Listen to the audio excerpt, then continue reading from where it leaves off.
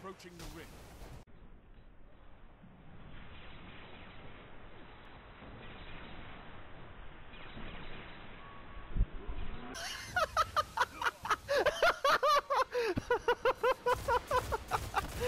They stopped your spark, right? He thought he had us all.